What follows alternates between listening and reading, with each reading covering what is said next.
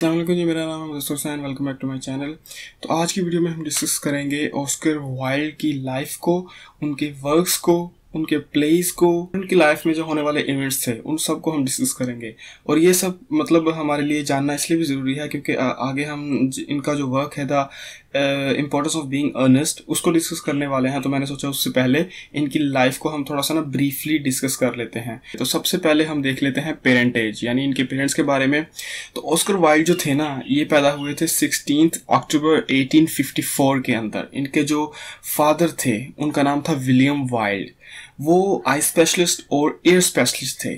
मतलब उनका नाम तो बहुत था, वो फ़ेमस तो बहुत थे, लेकिन एक चीज़ उनकी थी जिसकी वजह से ना उनका बहुत ज़्यादा मज़ाक उड़ाया जाता था ड्यूबलिन के अंदर। मतलब साफ़ सफ़ाई का ख्याल नहीं रखते थे वो। इसकी वजह से ना जो ड्यूबलिन के लोग थे ना, वो उनका बहुत ज़्यादा मज़ाक उड़ाते थे। उसके अलावा ये भी फ़ेमस था कि उनके बहुत सारे यानी लव अफेयर्स थे और कुछ उन्होंने नाजायज यानी बच्चे भी पैदा कर रखे थे। ऑस्कर वाइल्ड की जो मदर थी, उनका नाम था जेन फ्रेसिस्का एल्गी और ये उनकी मदर थी और उनका जो पेन नेम था ना, यानी उनकी मदर जो थी ना, वो एक पोइट भी थी। इसलिए उनका जो पेन नेम था ना, यानी जो अपना वो नेम राइटिंग में यूज़ करती थी, वो था स्पेरेंजा स्पेरेंजा उनका पेन नेम था और वैसे तो वो मतलब पोइट थी, लेकिन जब उनकी मतलब शादी हो गई विलियम वाइल्ड से तो उन्होंने तकरीबन अपना ये जो काम था ना पॉलिटिकल एक्टिविटी से अपना जो काम था वो छोड़ दिया, और उन्होंने अपना ज़्यादा टाइम जो था ना, वो अपने हस्बैंड्स के जो विजिटर्स थे ना, उनको एज अ हॉस्टेस सर्व किया। यानी अपना ज़्यादा टाइम ना, उनके जो हस्बैंड को मिलने आते थे ना लोग, उनको वो मतलब एज अ हॉस्टेस सर्व करती थी।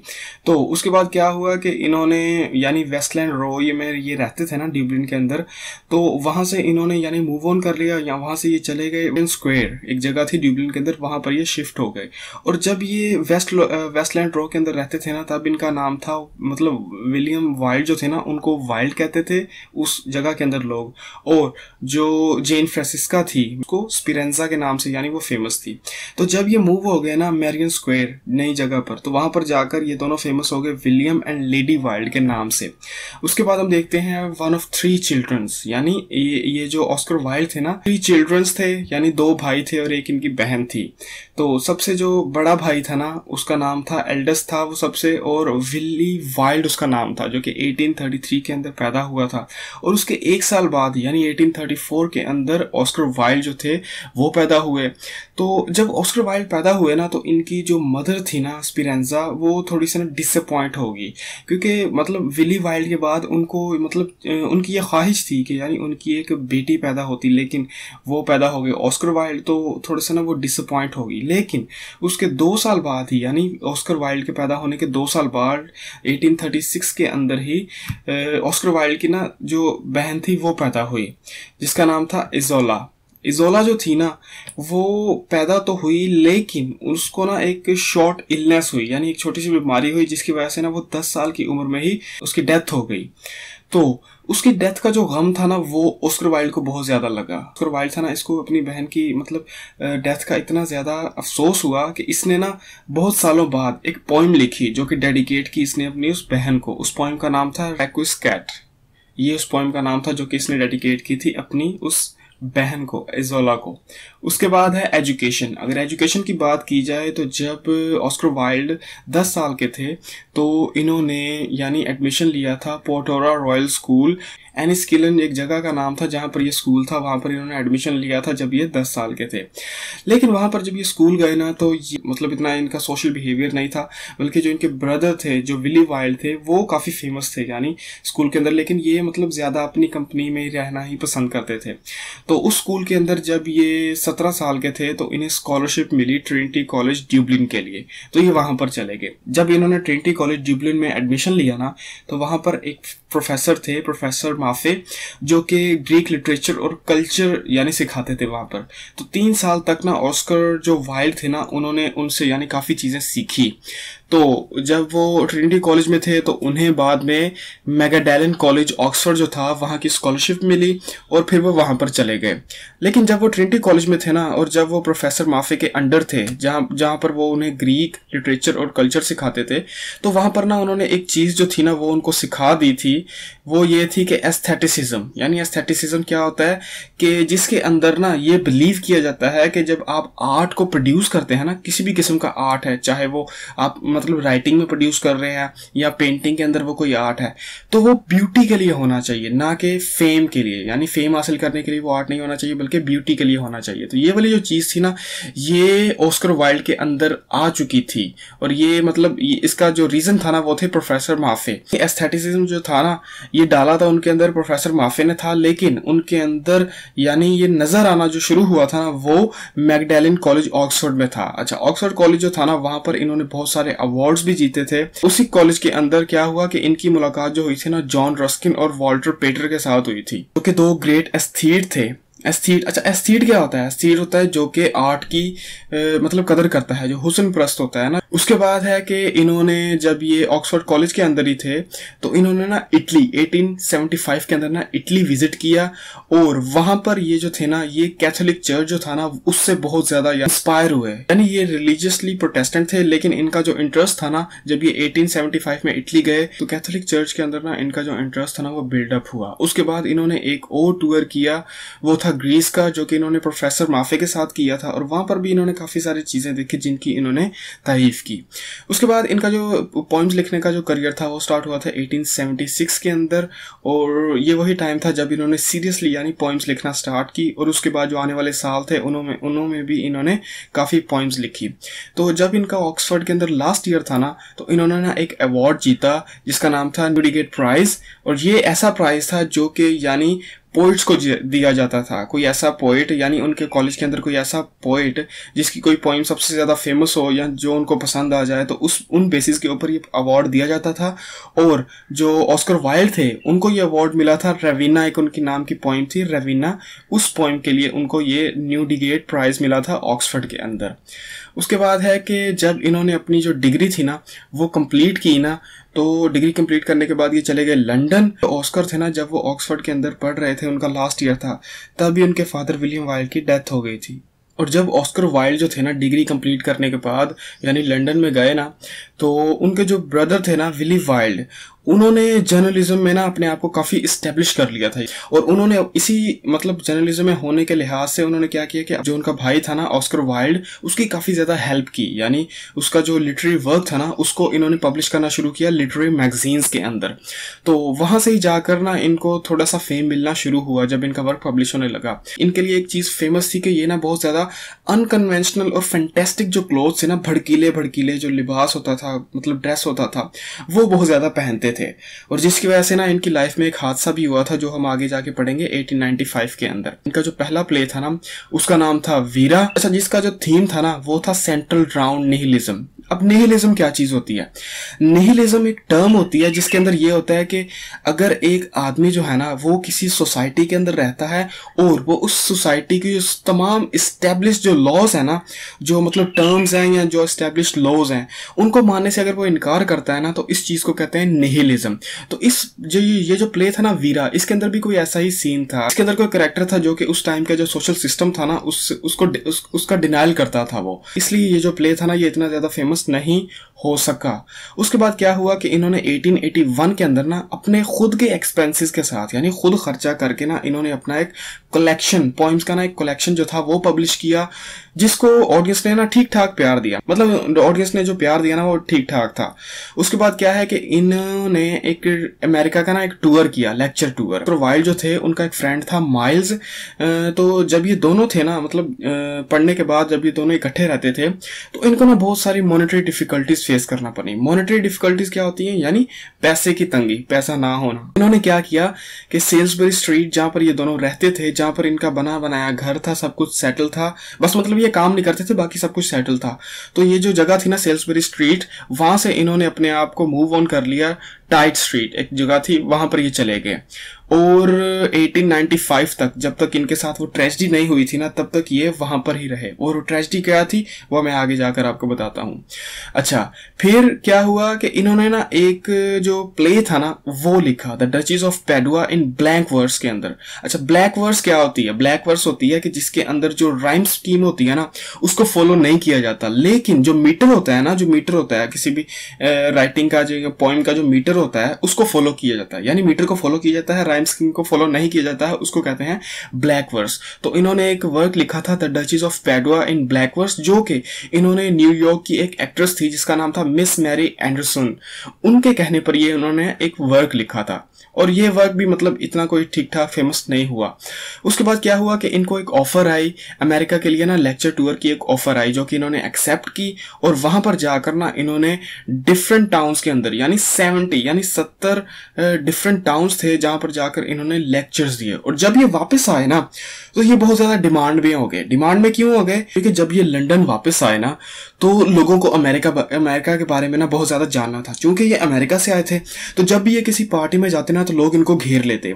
तो क्या हुआ कि बहुत जल्द ही ना ये बहुत ज़्यादा उदास रहने लग गए। तो उदासी की वजह से इन्होंने क्या किया कि ये पेरिस चले गए। इन्होंने पेरिस जाने का फैसला किया और वहाँ पर जाकर जो इन्होंने अपना वर्क लिखा था ना द डचीज ऑफ़ पेडुआ उसको इन्होंने कंप्लीट किया। यानी पहले वो लिखा था लेकिन कंप्लीट नहीं था। वहाँ पर जाकर इन्होंने उसको कंप्लीट किया। और जब इस प्ले को यानी परफॉर्म करवाया गया तो इस प्ले को सक्सेस ना मिल चुकी। और 1883 के अंदर ये लंदन वापस आ गए। जिस साल यानी कि ये पेरिस से वापस आए ना, उसी साल के अंदर अगस्त के अंदर इन्होंने अमेरिका का एक और टूर किया जिसके अंदर इन्होंने 16 लेक्चर्स दिए, यानी वहाँ पर 16 लेक्चर्स दिए। और जब ये वहाँ से वापस आए ना अमेरिका से तो इन्होंने फैसला कर लिया कि अब जो है ना, ये जो इनकम है ना, ये वो अपनी सारी इनकम ना अपने लिटरेचर से, यानी जो लिटरेरी वर्क ये प्रोड्यूस करेंगे ना, उससे ये अपनी सारी इनकम जनरेट करेंगे। और जब ये इनका टूर जो था ना, वो मिडल में ही था, यानी जब ये अभी अमेरिका में थे इनका जो टूर था वो मिडल में ही था, एक फीमेल थी मिस कॉन्स्टेंस मैरी लॉर्ड वो उनसे ना इन्होंने इंगेजमेंट का ना अनाउंस कर दिया कि इनकी इंगेजमेंट उनके साथ होगी। और ट्वेंटी नाइन्थ मई 1884 के अंदर लंदन के अंदर इन्होंने उसके साथ यानी शादी भी की थी। उसके बाद हुआ कि जब इनकी शादी होगी तो इनको बहुत ज़्यादा मॉनिटरी डिफिकल्टीज फेस करना पड़ी। यानी इनकी एज जो थी वो तीस साल हो चुकी थी, इनकी शादी भी हो चुकी थी, लेकिन अभी तक इनका कोई प्रॉपर यानी कि प्रॉपर कोई वे नहीं था इनकम जनरेट करने का। यानी इनके पास कोई मनी नहीं थी और कोई भी एक फिक्स्ड यानी इनकी कोई जगह नहीं नहीं थी, कोई ठिकाना नहीं था जहाँ पे ये रहते हों। अब तक इन्होंने सिर्फ़ इज़्ज़त कमाई थी और उसके साथ साथ कुछ नोटेरिटी भी कमाई थी। नोटेरिटी क्या कहते हैं? बदनामी को, यानी तशीर करना, किसी बंदे को बदनाम करना। यानी इनका जो वर्क था ना, अगर उसको इतना ज़्यादा फेम मिला था तो उसके साथ साथ इस, इनको कई लोग मैगजीन्स के अंदर ना क्रिटिसाइज भी करते थे। तो वो चीज़ भी साथ साथ चल रही थी। 1885 के अंदर ना एक न्यूज़पेपर था पॉल मॉल गैजेट नाम से। तो उस न्यूज़पेपर के अंदर इनको ना एक बुक रिव्यूअर की जॉब मिली, जिसको इन्होंने बहुत जल्द छोड़ दिया। उसके बाद 1887 के अंदर ना इनको एक और जॉब मिली। वो क्या थी? वुमेन्स वर्ल्ड मैगजीन एडिटर यानी उस मैगजीन के ना एडिटर की इनको जॉब मिली। और क्या हुआ कि बहुत जल्द ना ये उस जॉब से भी उकता गए और इन्होंने ना उस जॉब से रिजाइन कर दिया। बाद क्या था कि सक्सेसफुल प्ले राइट ये कब बने? अच्छा 1887 के अंदर ना इन्होंने अपनी एक बुक पब्लिश की, जिसके अंदर ना बहुत सारी शॉर्ट स्टोरीज थी, जो कि काफ़ी फ़ेमस हुई। उसके बाद इन्होंने एक बुक ऑफ़ एसेस पब्लिश की, जिसका नाम इन्होंने रखा इंटेंशन जो कि 1891 के अंदर पब्लिश की और उसके अंदर ना काफ़ी सारे एसेस थे जो इन्होंने पब्लिश किए। उसके बाद इनका ना एक नॉवल था जिसका नाम था the Picture of Dorian Gray ये ये ना एक ऐसा नॉवल था, जो कि इन्होंने पहले भी मंथली मैगजीन्स के अंदर यानी पब्लिश करवाया था, लेकिन वो एब्रीवेटेड फॉर्म में था, यानी वो बहुत शॉर्ट वे में था। बाद में ना इन्होंने इसको ना थोड़ा सा बढ़ा चढ़ा कर ना इसको पब्लिश किया। तो जो नॉवल था ना, इसके अंदर थोड़ी सी ना एलिज्ड इमोर्टैलिटी दिखाई गई। एलिज्ड इमोर्टेलिटी क्या चीज़ होती है? एलिज्ड इमोर्टेलिटी होती है कि एलिज्ड का मतलब होता है नाम निहाद, यानी जो सिर्फ़ नाम की चीज़ हो, यानी जिसको आप फर्जी बता सकते हैं रियल लाइफ में उसको इंप्लीमेंट नहीं कर सकते। उसको कहते हैं एलिज इमोर्टेलिटी कहते हैं फहाशी यानी बुरा काम या बदकारी या बुराई। तो इस प्ले के अंदर ना ये चीज़ बहुत ज़्यादा थी, यानी नाम हाथ ना बुराई दिखाई गई। मतलब ये जो प्ले था ना, इसकी स्टोरी ऐसे थी कि एक करेक्टर था जो कि बहुत ही ज़्यादा ना मतलब हैंडसम था। तो वो चाहता था कि ये जो ब्यूटी है ना, ये हमेशा तक रहे, यानी ये कभी भी खत्म ना हो, इसलिए वो अपनी सोल को ना बेच देता है इस ब्यूटी के लिए। यानी डॉक्टर फोस्टस से ना मिलती जुलती इसकी स्टोरी थी। तो उस टाइम तो इस प्ले को मतलब इतना जो था ना मतलब इतनी, इतना फेम नहीं मिला। लेकिन आज के टाइम में ना, इसको गोथिक लिटरेचर की ना बहुत बढ़िया पब्लिकेशन माना जाता है। यानी बहुत बढ़िया जो वर्क है ना गौथिक लिटरेचर का, वो इसको समझा जाता है। उसके बाद 1892 के अंदर इनका एक प्ले था लेडी विंटरमेयर्स फ़ैन जिस ये वो प्ले था जिसने इन्होंने, जिस प्ले ने ना इनको बहुत ज़्यादा फेम दिया और बहुत ज़्यादा मनी दी। उसके बाद इनके दो तीन और प्लेस जो थे, वो आए जिनमें a woman of no importance and ideal husband और the importance of being earnest जो कि हम अब आगे जाके पढ़ेंगे। ये वाले प्लेस शामिल थे। अच्छा ओवरऑल अगर बात की जाए ना इनके प्लेस की तो सिर्फ़ तीन तीन ऐसे प्लेस थे जिन्होंने, यानी इनको ना थोड़ा सा फेम और मनी दी। बाकी जो इनके प्लेस थे ना, वो या तो फ्लॉप हो गए या फिर उनको मतलब फेम नहीं मिला। वो जो तीन प्लेस थे ना, जिन्होंने इनको थोड़ा बहुत फेम दिया, उनमें Lady Windermere's fan and ideal husband और the importance of being earnest ये वो तीन प्ले थे जो ठीक ठाक इनके फ़ेमस थे और इनको पैसे कमा कर दिए। अच्छा ये जो प्ले है ना, जो हम पढ़ेंगे आगे जाकर the importance of being earnest इसके बारे में ना एक फैक्ट है। यानी फैक्ट वो ये है, कहा जाता है कि जब ये पहली पहली दफ़ा परफॉर्म करवाया गया ना स्टेज के ऊपर। तो इस जो एक्ट्रेस इसको परफॉर्म कर रहे थे, उसी एक्ट्रेस के ये अल्फाज हैं, यानी उसी एक्टर ने ये बात कही थी। उसने कहा था कि मैंने अपने ना तिरपन साल, यानी करियर के अंदर फिफ्टी थ्री ईयर्स हो गए हैं, कहता है मुझे ये काम करते हुए, लेकिन मैंने अपने इतने मतलब इस फिफ्टी थ्री ईयर्स के अंदर अंदर ना मैंने आज तक नहीं देखा कि कभी भी ऑडियंस ना इतना ज़्यादा, यानी उसने तारीफ़ की हो किसी प्ले की जितनी उन्होंने the importance of being earnest जो प्ले है, इसकी की है। तो इससे आप अंदाज़ा लगा सकते हैं कि ये प्ले अपने टाइम में कितना ज़्यादा फ़ेमस था और आज भी ये बहुत ज़्यादा फ़ेमस है। उसके बाद एटीन के अंदर इन्होंने प्ले लिखा था सैलम सैलम जो था, यानी इन्होंने पेरिस में इसको लिखा था, लेकिन ये इंग्लैंड में बैन हो गया था। अब आता है इनका वो वाला करियर लाइफ का, जिसके अंदर इनको ट्रेजिडी फेस करना पड़ी। वो ट्रेजिडी क्या थी? मतलब इनकी भी काफ़ी गलती थी, लेकिन उसकी वजह से इनको बहुत ज़्यादा खामियाजा भुगतना पड़ा। वो क्या था कि मतलब 1895 के आते आते ना, इनकी जो रेपुटेशन थी ना, वो थोड़ी सी गिरने लगी। लोग इनको ना अब्यूज़ करने लगे। और वजह क्या थी? वजह ये थी कि लोग कहते थे कि ये जो ऑस्कर वाइल्ड है ना, इन्होंने अपने आप को ना, यानी मेल प्रोस्टिट्यूट के अंदर ना बहुत ज़्यादा इन्वॉल्व कर लिया है। और ये ना मतलब मेल प्रोस्टिट्यूट के पास जाते भी हैं और इनको कोई हेजिटेशन भी फील नहीं होती। यानी ये मतलब बिना डरे, बिना खौफ के ना ये ये ना मेल प्रोस्टिट्यूट के पास जाते थे। और इसी वजह से ना इनको ये जो ट्रेजिडी थी ना ये फेस करनी पड़ी। अब ट्रेजिडी क्या थी? कहानी, अगर, कहानी को अगर मतलब पूरा बताया जाए ना तो उसके ऊपर एक अलहदा से वीडियो बन सकती है, लेकिन मैं आपको शॉर्ट वे में ना इसकी छोटी सी कहानी बता देता हूँ कि इनके साथ हुआ क्या था। एक करेक्टर था मार्किस ऑफ़ क्विंसबरी यानी ये एक एरिस्टोक्रेट था, बहुत बड़ा यानी करेक्टर था मार्किस ऑफ़ क्विंसबरी अच्छा इसने क्या किया कि made an open acquisition accusation यानी इल्ज़ाम लगा दिया ऑस्कर वाइल्ड के ऊपर। इल्ज़ाम उसने क्या लगाया? मार्कस ऑफ़ क्वेंसबरी जो था ना, इसका एक बेटा था बेटा था जिसका नाम था बोइस। बोइस का नाम से ना वो फ़ेमस था। तो कहता है कि ये जो है ना ऑस्कर वाइल्ड, ये इसका रिलेशन है उसके साथ, यानी ये होमोसेक्सुअल है उसके साथ, यानी इसकी जो दोस्ती है वो वो कुछ ज़्यादा ही हद से बढ़कर है। तो इस चीज़ का ना इल्ज़ाम लगाया इसने उसके ऊपर। तो जब ये इल्ज़ाम हद से ज़्यादा बढ़ गया ना मतलब ये ऐसे भी नहीं था कि अचानक इल्ज़ाम लगा दिया। इससे पहले बहुत सारे इवेंट हुए थे जिनको हम यहाँ पे डिस्कस नहीं कर सकते हैं यानी वीडियो बहुत ज़्यादा लंबी हो जाएगी। तो इन्होंने जब इल्ज़ाम लगाया ना तो जब ऑस्कर वाइल्ड ने देखा ना कि अब काम हद से बढ़ गया है तो ऑस्कर वाइल्ड ने ना इनके खिलाफ एक आ, मतलब सूट फ़ाइल किया जिसमें इन्होंने कहा कि मतलब ये मुझे ना बदनाम कर रहा है। इस चीज़ के लिए इन्होंने इसके ऊपर केस कर दिया किसके ऊपर? मार्क्स ऑफ़ क्वेंसबरी के ऊपर। किसने किया? ऑस्कर वाइल्ड ने। अच्छा जिसको डिफेंड किया था एडवर्ड कार्सन ने। अब ये जो एडवर्ड कार्सन है ना ये एक ऐसा करेक्टर था जो कि जब ऑस्कर वाइल्ड ट्रिनिटी कॉलेज में पढ़ रहे थे ना तो उसमें ये इनका क्लास फेलो था लेकिन वो मतलब एक किस्म का ना इनका दुश्मनी समझ लें मतलब इनकी इनकी उसकी आपस में बनती नहीं थी। तो जब इसने केस लिया ना, एडवर्ड कार्सन ने जब केस लिया मार्कस ऑफ़ क्वेंसबरी का तो फिर इसने केस मतलब वो जो इल्ज़ाम थे ना, वो साबित कर दिए इसके ऊपर ऑस्कर वाइल्ड के ऊपर।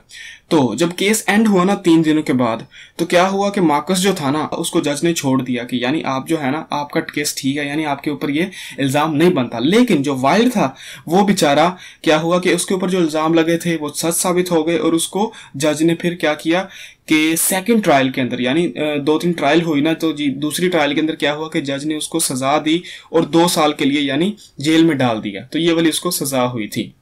अच्छा ये जो स्टोरी है ना इसकी वाइल्ड की और मार्कुस की अच्छा इसका जो स्टार्टिंग पॉइंट है ना स्टार्टिंग में ऐसे हमें देखने को मिलता है कि जैसे जो ऑस्कर वाइल्ड है ना वो तो जीत ही जाएगा भाई। यानी ये सारे सबूत जो थे ना वो आ, मतलब मार्कुस के खिलाफ थे और ऑस्कर वाइल्ड जो था ना वो ऐसे ही आराम से बैठा था कि वो ये केस आराम से जीत जाएगा। लेकिन एंड तक आते आते ना ये केस ऐसे पलटा कि ऑस्कर ऑस्कर वाइल्ड ने जब इसको मतलब सजा हुई ना जब इसने कहा कि यानी मेरी सजा में कमी की जाए तो जजेस ने इसकी बात सुनी भी नहीं। यानी ये इतना हैवी था, इसके ऊपर जो इल्ज़ाम लगे ना, वो इतने ज़्यादा थे। तो जब इसको, यानी सज़ा हुई ना तो इसने जेल के अंदर ना, इसका एक फ्रेंड था एल्फ्रेड उसको ना एक लेटर लिखा, जिसका नाम था अपोलोजिया डी प्रोफंडस ये इसको अगर ट्रांसलेट करें तो इसका मतलब बनता है from the depth of my heart ये लेटर था। तो ये जेल के अंदर इसने लिखा था जो कि बाद में बहुत ज़्यादा फ़ेमस हुआ। यानी ये लेटर बहुत ज़्यादा फ़ेमस हुआ। फ़ेमस क्यों हुआ? क्योंकि इसने ना अपने जो जो इसके साथ बीत रही थी जेल के अंदर, वो सारे इवेंट्स इसने उसके अंदर लिखे।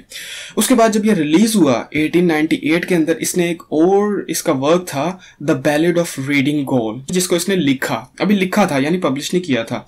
उसको इसने लिखा। उसके बाद क्या किया कि ये जो दो इसकी प्रोडक्शंस थी, यानी the ballad of Reading Gaol और जो इसने अपने फ्रेंड एल्फ्रेड को लेटर लिखा था from the depth of my heart ये वो दो चीज़ें ऐसी थी जिसने ऑस्कर वाइल्ड को इतना ज़्यादा फ़ेमस कर दिया कि इसकी जो पुरानी चीज़ें थी ना, लोग वो सारी पुरानी चीज़ें भूल गए। लेकिन ये ये जो इम्प्रेजनमेंट थी ना, यानी ये जो इसको सजा हुई थी, इसका ना एक नुकसान भी हुआ इसको।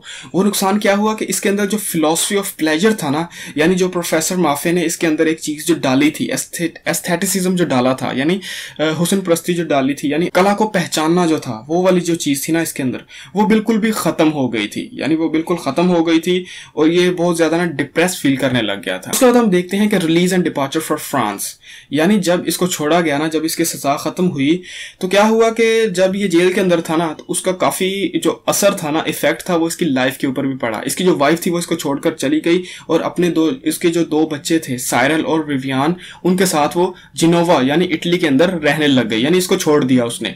उसके बाद क्या हुआ कि जब ये जेल के अंदर था ना तो जेल इसकी थी रीडिंग गोल के अंदर। ये वो जगह थी जहाँ पर इसकी जेल थी। इसको वहाँ से ट्रांसफ़र कर दिया गया। पेंटल वाइल प्रिजन के अंदर इसको ट्रांसफ़र कर दिया गया। और ट्रांसफ़र करने की ना एक वजह थी। वजह क्या थी कि वो जो आदमी था ना, जिसने इसके इसके ऊपर इल्ज़ाम लगाया था मार्कस ऑफ़ क्वेंसबरी।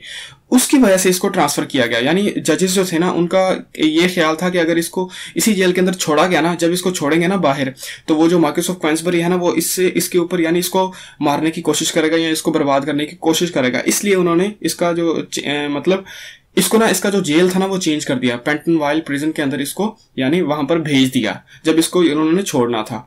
तो क्या हुआ कि नाइनटीन भाई एटीन के अंदर ही वॉज़ ड्यूली रिलीज़ यानी इसको एंड टाइम के ऊपर रिलीज़ किया गया, और रॉबर्ट रॉस जो इसका फ्रेंड था, उसने इसको गेट के ऊपर रिसीव किया।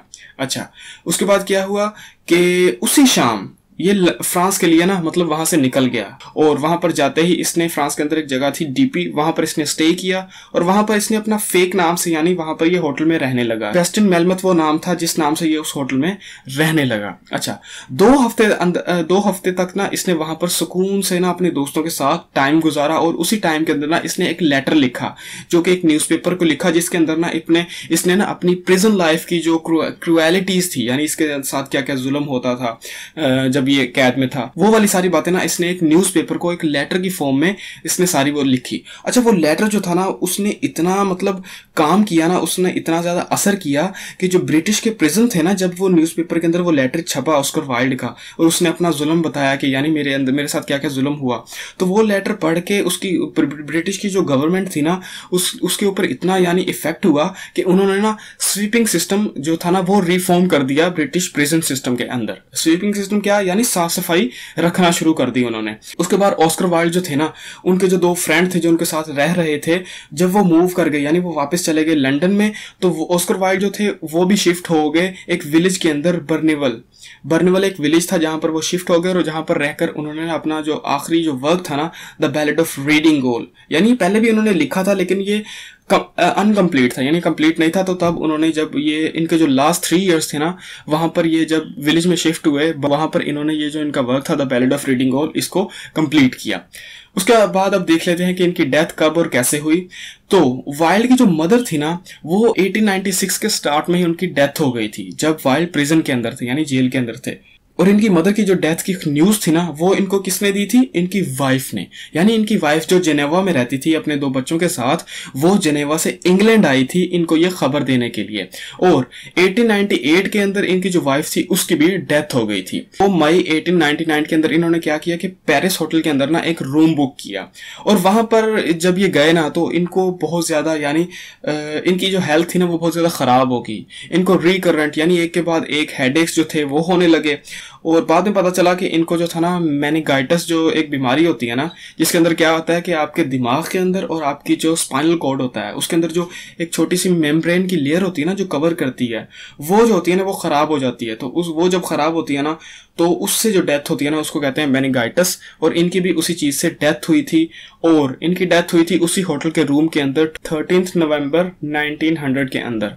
अच्छा एक एक मज़े का ना फैक्ट है इनके बारे में। वो क्या है कि ये ना वैसे अपनी पूरी लाइफ के अंदर ना ये प्रोटेस्टेंट थे। तो जब ये इनकी डेथ हुई ना, इन्होंने डेथ से एक दिन पहले ही ना ये कन्वर्ट हुए थे रोमन कैथोलिक फेथ के अंदर। यानी, आप ऐसा समझ ले कि इन्होंने ना अपना जो मज़हब था ना, मज़हब तो वही था, लेकिन मज़हब के अंदर एक कास्ट जो थी ना, वो चेंज की थी अपनी डेथ से बिल्कुल एक दिन पहले। और जब इनकी डेथ हुई ना तो जब इनको दफनाया गया मतलब तो जनाजे वगैरह का जो काम था ना, वो इनके नए, यानी रिलीजन के मुताबिक हुआ। यानी वैसे तो ये प्रोटेस्टेंट थे प्रोटेस्टेंट फेथ था इनका। लेकिन जब इनको दफनाया गया तो वो रोमन फेथ के मुताबिक दफनाया गया। और इनके मरने के तीन दिन तीन दिन बाद ना इनको दफनाया गया, किस जगह पर? बैकविक्स सेमेट्री बैकविक्स सेमेट्री एक जगह थी, वहाँ पर इनको दफनाया गया। तो आई होप सो कि हमने तकरीबन इसको कवर कर लिया है। तो अब हम कुछ दिनों के अंदर अंदर ना जो the importance of being earnest है, उसको भी स्टार्ट करेंगे इन